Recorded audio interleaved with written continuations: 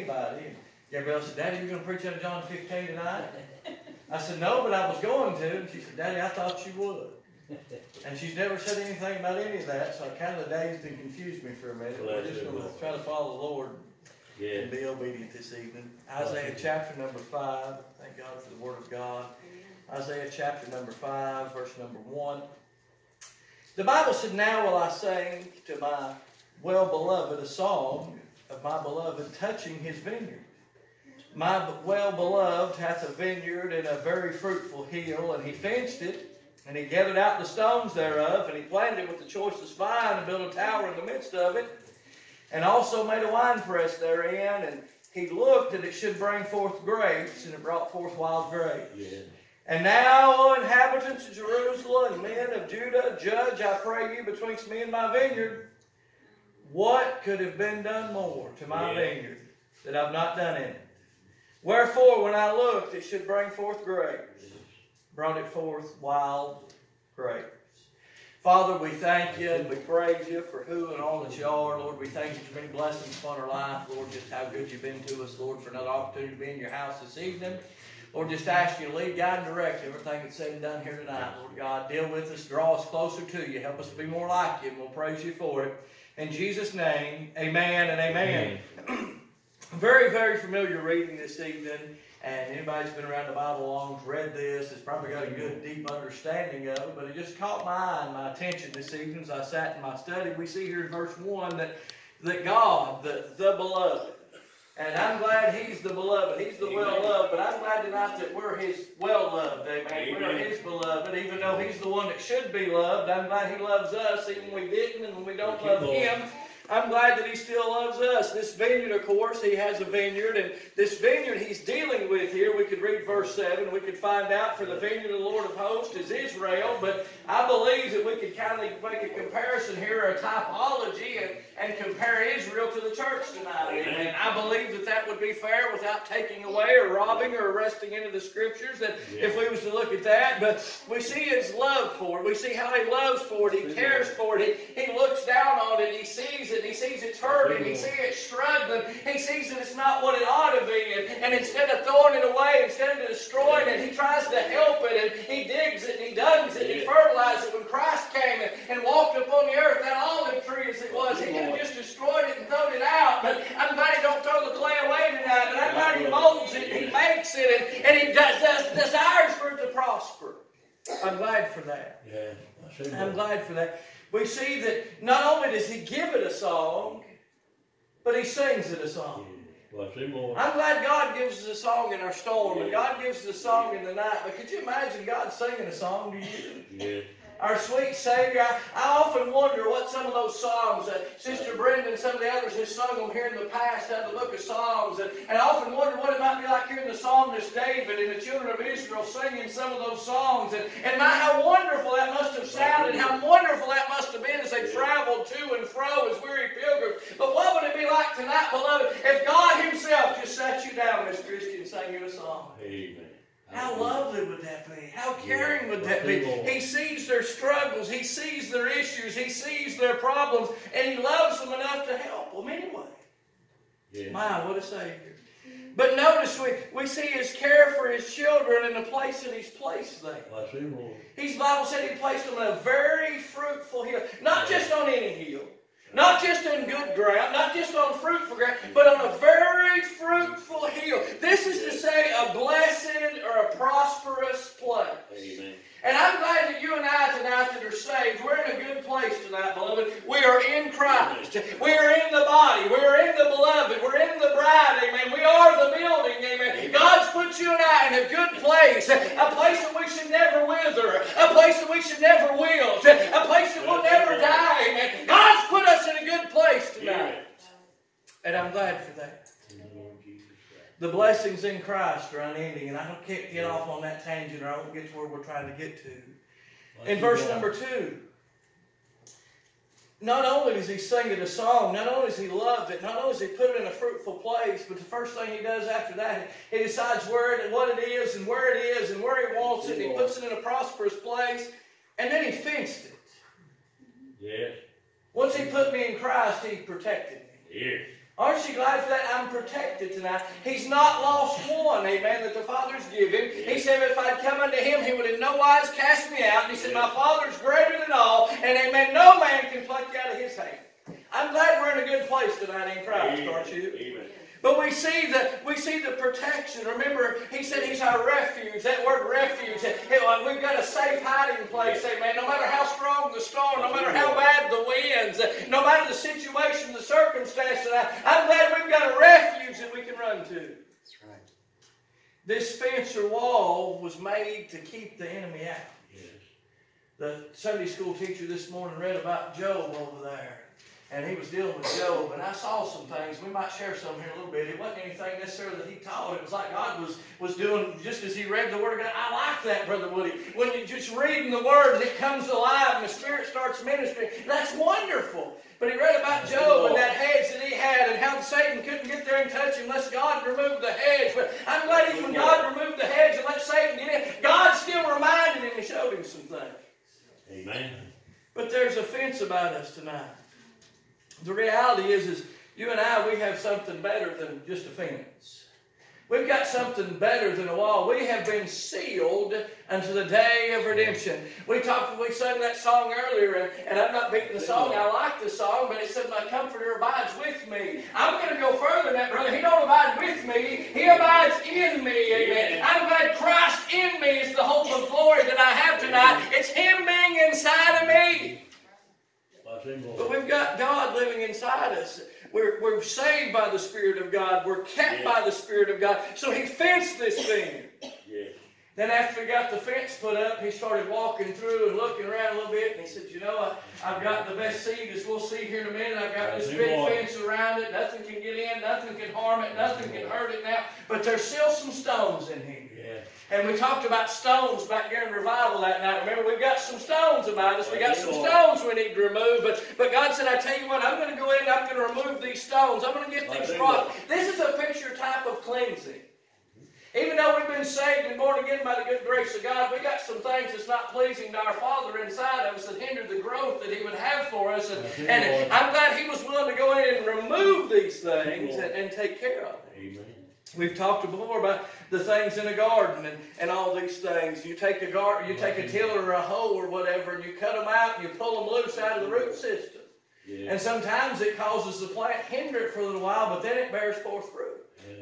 I used to think we used to have several apple trees and cherry trees there where I growed up at. When first planted them, it took forever to get fruit on them. It took a while. But then they began to mature. When they matured, they would bloom, they would blossom and bloom and was loaded with fruit. But over time, they got all these extra branches and got all this extra stuff on them. And when the storm would come, it would destroy them. So Papa would go out there and he would take a limb saw or a pair of snippers or a chainsaw, depending on how big it was and where it was, and he would cut that thing.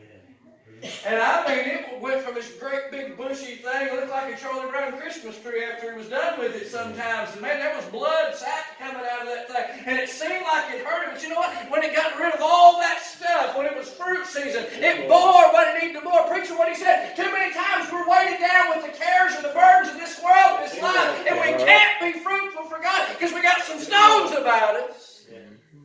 We got some things there that need to be removed. God doesn't use a tiller or a hoe, though. He cleanses us with the water of the Word. Yes. Amen. He cleanses us with those things. Yes. If we're not careful, it'll hinder our spiritual growth and, and will harden our heart to things that we shouldn't harden it to. Him. But not only did he build this wall, not only did he go in and remove the rocks, but it says, and planted the choicest vine. He gave them the best of everything, the Yes, best ground, the biggest, nicest wall, removed the sto- stones. Now they've got this good soil, and there's no reason it shouldn't prosper. Yes. I remember God did a heart transplant on me. Amen. He reached in and took an old stony heart, stony heart, and put in a heart of flesh, one that he could mold, one that he could make, one that he could work with. And, and he did that. When he done that, he gave me the best seed. The Word of God. Amen. He gave me a seed that would prosper, a seed that would grow even in darkness, a seed that could grow even in stony places, a seed that would bring forth much fruit. Yes. He gave us a good seed. Yes. God give us everything we might grow and prosper in Yes. Christ. Amen. And God was expecting that, and He still is. Preacher, why would you say that? What was the next thing He did? He built a tower in the midst of it. Yes. What is that tower for? That tower is for the watchman. Yes. So not only has He put the good dirt there, He's given us the good seed, the Word of God. Not only has He done all these things and built a wall around us to protect us, but He's sitting there watching over us. Amen. Isn't that wonderful knowing that He's standing right there watching over us? He's looking after us. We've got a Father up above who is looking down in love, and, and He's looking after us. That's the reason we don't have to tell Him what He needs. He already knows. He knows where we're at. He knows what we're facing. He knows what we're going through. He's interested in you and I. Why? Because He cares about you and I. He put this watchman there to ensure the prosperity of this vineyard. He would sit and watch to ensure the vineyard was nurtured and that it was fertilized and that it had exactly what it needed. That's the reason He'll supply all of our needs according to His riches and glory because that's for His work, for His will. That's the reason if we'll, if we'll come together in agreement, He'll give us what we need. He'll meet the need. Why? Because He wants us to prosper in Christ, not worldly, but spiritually. Amen. He would keep the harmful things away Yes. and keep them from ruining or destroying His harvest. God sits and watches over us from on high. Mhm. supplying our need and protecting us, keeping away things that'll harm us. But not only does he think it's going to prosper and that he builds this tower, but notice the next thing he puts in a wine press. Yes. He puts in a wine press. He says, sure, everything I've give, everything I've done, God has given his all for you, and he's given his all for me, and he's made sure that we ought to prosper in Christ. Yes. So now he sets up this wine press. This is where the fruit would go from the vineyard. And the owner of the vineyard, and, and he would take and, and he would take those that worked and those that labored, and, and he would finally receive the reward of the vineyard. The Lord supplied all these things, and it ought to be successful. We ought to be fruitful. He's already installed this press, but now we see the fruits of the labor. It ought to bring forth wine. You say, what's the importance of wine? Wine in the Bible is Yeah. always a picture type of joy. Yes. Our service for Him, our surrender to Him, the things we do for Him brings joy to Him. Without faith, it's impossible to please Him. Amen. That's the joy of the harvest, the reward of the harvest. Just pleasing our Father. Think, my, how wonderful is that? It pre- pleases Him when we're fruitful. Notice He's got high hopes or expectations for His vineyard. He desires to save all. We know that. He's not willing that any should perish, but that all should come to repentance. He desires for all to live godly in Christ Jesus. He loves all. He'll save all. And he looked that it should bring forth. He looked at it. He said it should bring forth. This should work. I'm talking about the one that created the heavens and the earth. The ones that put all the solar system in place. The one that created this body that man still can't figure out. God did all that. Yes. Amen. And he says, now I just want to grow some fruit. I want to bring forth my vineyard. Mm-hmm. And he looked that it should bring forth. God expects fruitfulness. I'll go beyond that. God requires fruitfulness. God requires faithfulness. Where much is given, much is required. Yes. But sadly, we see the result. It brought forth wild grapes. Yes. Wild grapes. Bless him, Lord. The thing is, I don't know a whole lot about fruits and things of that nature, but a wild grape, a lot of time it looks. It's got the resemblance of a good grape. It's got the resemblance of good fruit. But the taste isn't the same. It should be something sweet. It should be something desirable. But it's bitter. Amen. When I thought about that, I'm not being mean or hateful, but I'm telling you the truth. I began to think of most Christians in our day We ought to be something sweet. We ought to be something desirable. But most of the time we're bitter. Yes. Because we're more worried about the cares of this world and the cares of this life Yes. Than what the beloved's done for us. Yes. He's singing us a song. He's preparing us. He's making ways for us. He's doing all these things. Bless him, Lord.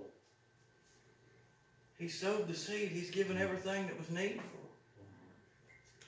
But now we see the weeds. We see the sin. We see the trouble. We read about the wheats and the tare, how they came up together. God's going to divide, amen. They're similar, but they're not the same. Something wild hasn't been tamed, it hasn't been broken. Yes. I've seen too many Christians that belong to themselves. They're owed by everything, Yes. and they just want what they deserve. It's obvious they don't know what they deserve. I deserve to be in hell with my back Yeah. But I'm glad I didn't get what I deserved. I'm glad grace Thank you, by my way. I'm glad mercy came to where I was. I'm glad He came and saw me. Preach Him, Lord. And I'm glad He gave me what I needed instead of what I wanted. Amen. Preacher, what are you saying? God's given everything we need to be fruitful as individuals, as families, as a church, as a community, as a country. But we fail to use what He gives us. Yes.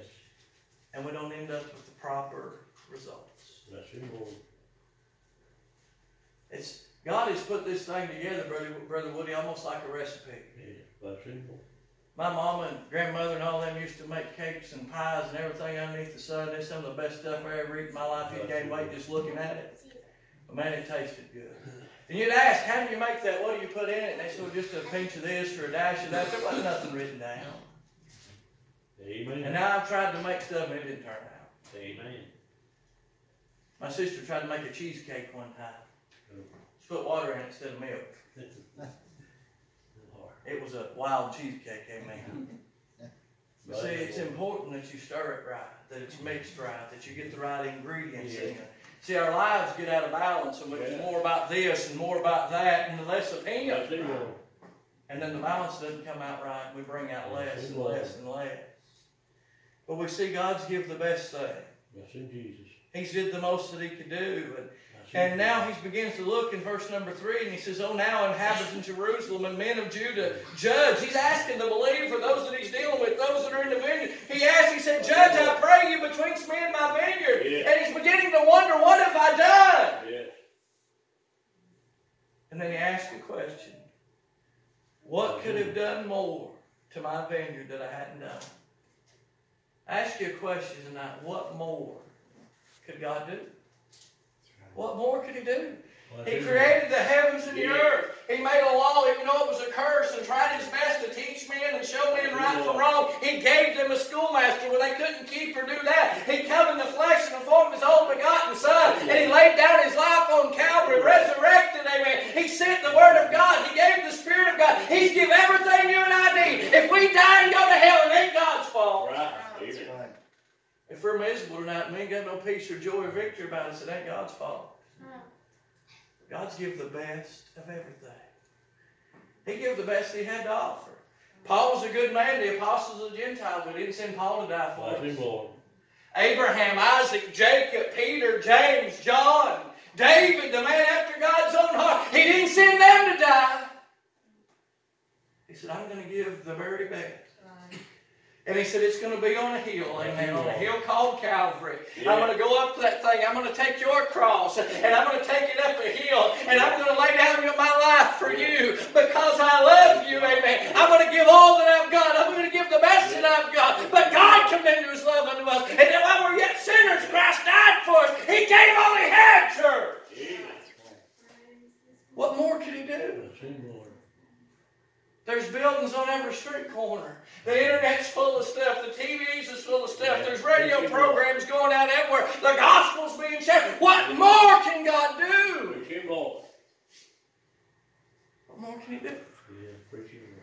Talked to a fellow the other day. He was talking about going to church and this, that, and other. And he cussed a big oath. and Was talking about drinking. I said, I thought you were saved. I thought you was going to. Me and God's got a deal.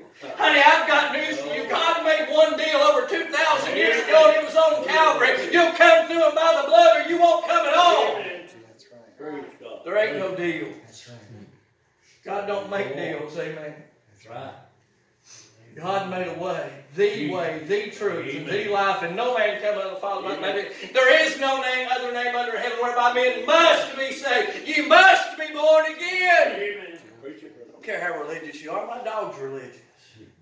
He religiously barks every time somebody comes in the yard. He religiously eats anything you throw out there. He religiously goes out there and makes a mess in a certain. He's religious. Bless Him, Lord. But he ain't going to heaven. That's. Right. You must be born again.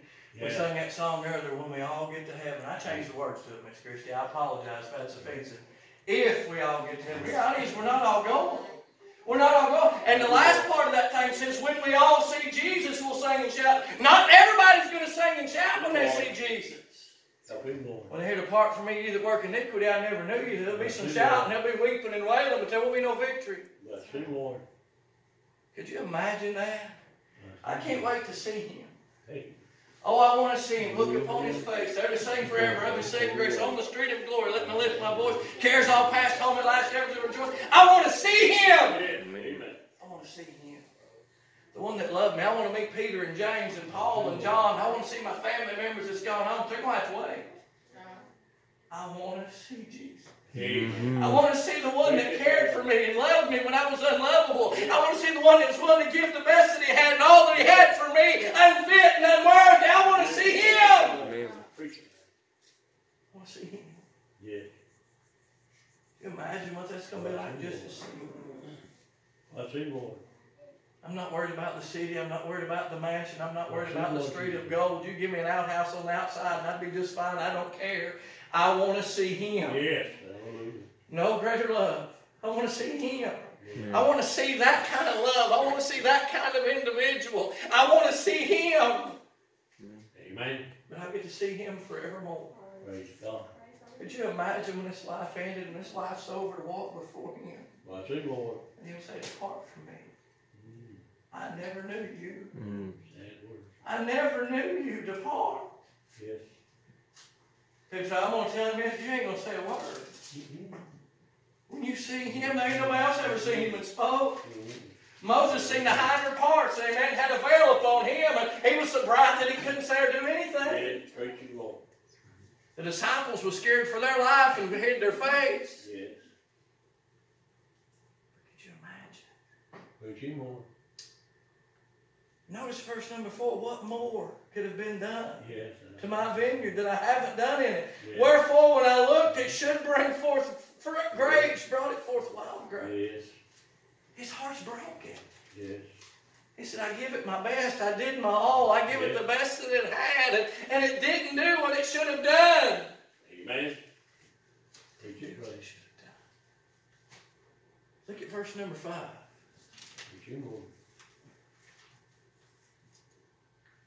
And now go to. I will tell you what I'll do to my vineyard. This is the thing that he loves, the thing that he's gave everything for. I will take away the heads thereof, and it shall be eaten up. And break down the wall thereof, and it shall be trodden down. Yes. God's preparing to send judgment. Yes. First Peter chapter 4 put it this way, he said, if judgment begin first in the house of God, what should then be for those Yeah. obey not the gospel? That's right. You and I are going to stand in judgment Yeah. first, church. Yeah. You and I are going to give an account for every deed done in this body, whether it was good or evil. You can hide it from me, mom and daddy, husband or wife, school teacher, whoever, but you ain't hiding a thing from God. The book's going to be open that day. Everything you said, done, or thought is written down. And our works is going to be tried as though by fire. Preach it, brother. They'll come out, wood, hay, and stubble, and we'll suffer great loss. Yes. Or gold, or silver, or precious gems. Yes. Some will be saved as though by fire. Won't have nothing to show for it. help us not to go. Judgment's going to begin. Yes. He said he'd take away the heads, the protection's being Yeah. removed. Church, you and I are the last line of defense the lost and dying world has. Yes. Preach it, brother. How shall they escape if they neglect such a great salvation? The reality is God answers that question, they can't. There is no escape other than Jesus. Praise God. God said it just didn't work. Preach him, Lord. He desires to save all. He loves all, but some just won't come. He's going to take away the hedge. Yes. He said it'll be. He's going to break down the wall. He said it'll be trodden down. Yeah. Something that's trodden down is disrespected. Yes. Have you ever seen God in church more disrespected than down there than it is right now? Preach it, People used to respect the church. They'd turn down their music. They wouldn't drink and do dope and try to break in and destroy stuff, It's been trodden down. The church part. The reality is he's just going to leave it alone. That's the worst thing possible. Yes. He's just going to leave it alone. Bless him, Lord. That's what he's going to do. He said, I will take away the heads thereof, and it shall be eaten up, and break down the walls thereof, and it will be trodden down. I will lay it waste. It shall not be pruned nor digged, but there shall come up briars and thorns. I will also command the clouds that they rain no rain upon it. Yes, You know what he just said? He said, It's going to die. yes. It's going to die. The reality is, I'm afraid the church as we know it has began to spiritually die. Hmm. We can say it's the preacher's fault, we can say it's the deacon's fault, or the music's fault, or Well, that's your whatever's fault, but reality church is my fault. And it's your fault. Yes. God's give you the best, and God give me the best. He's supplied more than He's more than enough. Amen. It's you and I that's not enough. Mhm. We've not done enough. Bless him, Lord. He's going to remove the rain. He's just going to watch it be destroyed. That rain, in case you're wondering, speaks of His Spirit and His blessing. Shower. The fruit God is looking for is simply spiritual growth in His children. Love, mercy, long suffering, sinners being saved, saints being helped. God's done all He can do. Yes. But I close tonight with one question. What more can you do? Yes. Pick up the- I'm going to change that a little bit even. What more should you do? Yes. Bless him, Lord. Are we doing all we can for God, church? him, Lord. Are we doing all that we can? Yes. Bless him, Lord. Everybody you talk to saved and they're born again. Are they surrendered to God? Mm. Are we Preach him, Lord. serving God fully, wholeheartedly? Are we giving Him our best? Are we giving Him our all? Are we praying like we ought to be? Are we using our talents like we ought to be? God's blessed us with a lot of things. Amen. Are we studying the Word? Are we sharing our testimony? Are we witnessing? Are we doing it, giving exactly what God would have us Bless to give? Lord. When we stand on Judgment Day before God Almighty, can we say, God, I tried my best to build a wall for my family. Lord. I tried my best to build a wall for your church. I tried my best. I planted the best thing that I had. Bless him, Lord. I did everything that I could for you. Preach it, brother. Can we say that? He did. Amen. We'll be judged for our service. Yes. Him, Lord. We're going to be judged on whether we're a sinner or not. Yes. Our sins is gone. Our service is all that matters. Preach him, Lord. God's children have put themselves in bondage. Look at verses 12 and 13 right quick. Yes. or verse 13 and 14. Therefore, my people are gone into captivity because they have no knowledge. My people are destroyed how? From a lack of knowledge. Amen. And their honorable men are famished, and their multitude dried up with thirst. They've wilted. Why? Because God's removed the water. You don't want it, you're not interested in it, fine. He ain't going to force it on you. But notice the results in verse number 14. Therefore, hail hath enlarged herself, Yes. and open their mouth without measure, and their glory, and their multitude, and their pomp, and he that rejoiceth shall descend into it. Folks is dying and going to hell Yes. Bless him, Lord. because you and I aren't what we ought to be. Bless him, Lord. We're not using what God's given us. Help us, Lord. If one sinner dies and goes to hell, there ain't nobody can say it's God's fault. I wonder how many could die and walk right past us and go to hell. Bless him, Lord. So why didn't you tell me? Why didn't you show me? I wonder what kind of grape, what kind of fruit we are before lost and nine world. Are we bitter? Bless him, Lord. Are we hateful? Are we hurtful? Are we Bless him, harmful? Lord Jesus. Or are we sweet? Bless him, Lord. Jude said, if some having compassion makes the difference. Yes.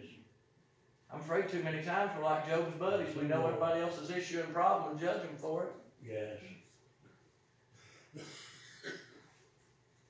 Bless him, Lord. What more could we do, church? Yes.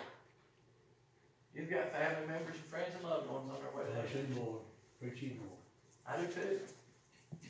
We're just gonna sit back Sunday morning, Sunday night, and Wednesday night, say if they come, they come. If they do, they do. If they don't, they don't. Help them, Lord. And convict you of their soul. We're gonna go out and try to be fruitful. Bless him, Lord. Wonder what kind of difference we're making, what kind we should. Bless him, Jesus. Bless. What more can God do? I think the answer there tonight. Yes. But I ask you tonight, what more can we do? What more can we do as individuals? What more could we do as families? What more could we do as a church? Preacher, it's the last day, and I, and I understand that. It's been the last day since Calvary. Bless God put Lord. the Spirit upon man and save And multitudes. he said he would save you. He still saves. Amen. What more could God do? Bless him, Lord. The reality is, after all this happens, the king dies, God sends judgment, but you know what? God saved in the very next chapter. Yes. And the year King Uzziah died, chapter 6, verse 1, I saw also, Lord. And you know how he was? He was high and lifted up. And, and his train did fill the temple. And he had six wings, and the seraphims was there. With twain he covered his face, with twain he covered his feet, with twain he did fly. And one cried out unto another and said, Holy, holy, holy is the Lord God Almighty. The whole earth is full of his glory. God. Smoke come in that place, the timbers begin to shake. Yes. He cried out, he said, I'm an unclean person, not my lips are unclean. So you know what he did? He said, a live coal from off that altar Yes. cleansed. And he called him. Yeah. Even in the midst of something falling apart and God saying, I can't do any more, what more can you do? God still saved. Yes. Amen. Church, it's time to get serious about serving Yes. God. We're almost home. Hallelujah. Amen. I don't want to give the devil any more. I want to see him saved, don't you? Yes. So we stand to our feet tonight. I ask you that simple